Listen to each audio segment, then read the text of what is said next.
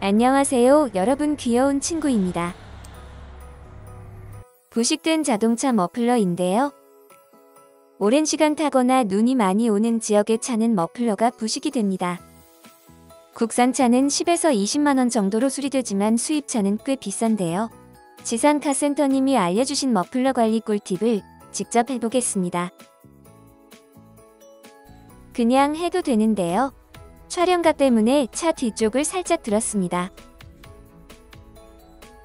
하루 정도 주차된 냉간 상태예요. 이 차의 머플러를 보면요. 눈이 잘 안 오는 지역만 다녀서 머플러에 부식이 없고 나름 양호한 상태입니다. 부식되기 전에 관리해야죠. 다이소에서 산 2,000원짜리 냄새 없는 방청 윤활제입니다. 싸고 노즐도 달려있어 가성비 좋아요. WD나 어떤 방청 윤활제 쓰셔도 상관없습니다.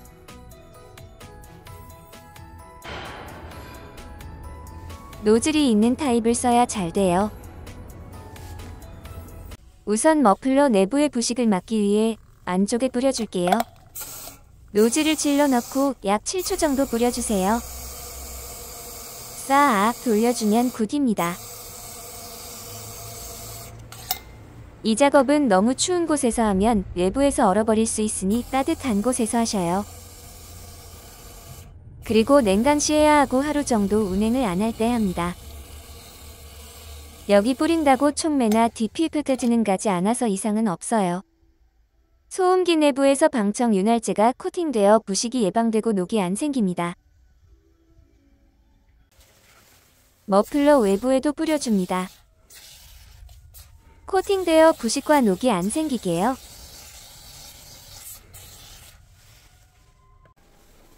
뿌리고 흐르는 건 면장갑으로 싹싹 닦아주어요. 부식이 있는 곳은 힘있게 빡빡 닦아줍니다.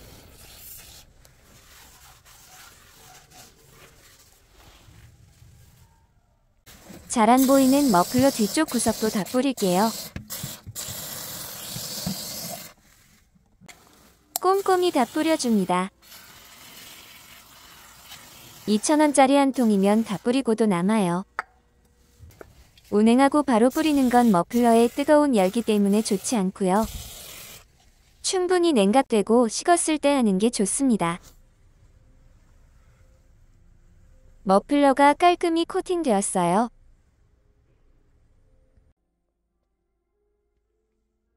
촉촉한 게 녹안슬 것 같습니다.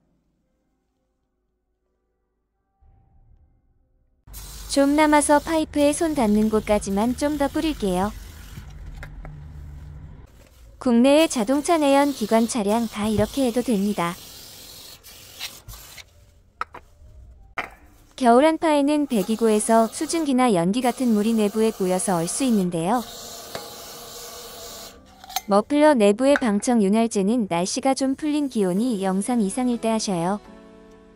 눈이 잘 안 오는 지역은 1년에 한 번 정도 하면 좋고요. 눈이 자주 오는 곳이나 바닷가 근처는 1년에 3, 4회 정도 하면 좋겠습니다. 부식이 심한 곳은 머플러 외부에 아연 스프레이 같은 것 추가 도포하시고요. 내부에는 방청 윤활제나 실리콘 스프레이 뿌려주면 괜찮습니다. 일하러 갔다가 퇴근 후에 다시 보고 시동까지 걸어볼게요. 출근길에 황금 잉어빵 보이네요. 오뎅도 팔아요. 천원에 두 개 사봤습니다. 와 크림 붕어빵 바삭한 게 진짜 맛있네요. 팥도 괜찮고 대박 맛있습니다.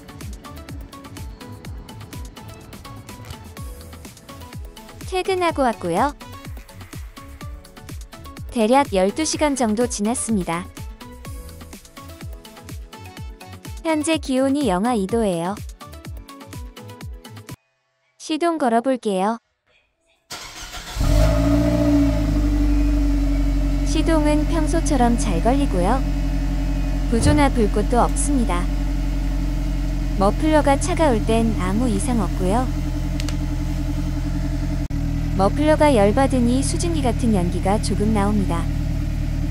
방청유 냄새가 약간 나는 것 같기도 한데 거의 안 나요. 잠시 머플러 연기에 멍 때리고요. 1분 정도 지나니 연기는 안 나옵니다.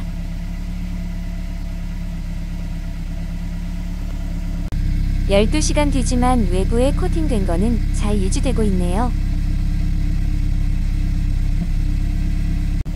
오늘은 집에 가고 내일 운행해 볼게요.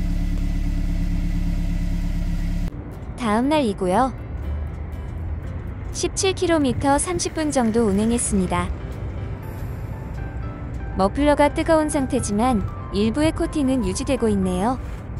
다이소 방청 윤활제 2,000원이지만 머플러 부식 예방에 도움이 잘 될 것 같습니다. 남은 거는 변기에 뿌려놓은 다음 청소해 보셔요. 요산 제거되는 효과가 있어 청소가 잘 됩니다. 오늘도 시청해 주셔서 감사드립니다.